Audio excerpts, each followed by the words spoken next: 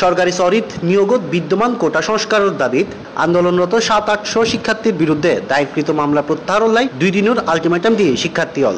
রবিবার এক সংবাদ সম্মেলনত এই আলটিমেটাম দেওয়া হয়। ফজর দশটার তুন কোটা সংস্কারের দাবি লই এনে ঢাকা বিশ্ববিদ্যালয়ের টিএসসি জ্বর হইতে তাহে হাজার হাজার শিক্ষার্থী পরে ফজরের সাড়ে দশটার দিকে তারা শাহবাগত অবস্থান লয়। এরপর মিছিল এনে নীলক্ষেত এনে রাজু ভাস্কর্য পরে তুন এক সংবাদ সম্মেলনত শিক্ষার্থী হলের বিরুদ্ধে মামলা প্রত্যাহার হলাই দুই দিনের আলটিমেটাম দেওয়া হয়। ওই নমিকে শিক্ষার্থী হল স্বাধীনতা দিবস উপলক্ষে সারা দেশের শিক্ষা প্রতিষ্ঠানরে পরিষ্কার পরিচ্ছন্নতার কর্মসূচির ঘোষণা দিয়ে। এছাড়া উনত্রিশ মার্চ কেন্দ্রীয় শহীদ মিনারত নাগরিক সমাবেশের ঘোষণা দেওয়া হয়। যেটায় দেশের শীর্ষস্থানীয় শিক্ষাবিদ বুদ্ধিজীবী কোটা সংস্কারের যৌক্তিকতা তুলি ধরিয়ে নেয় বক্তব্য রাখিব।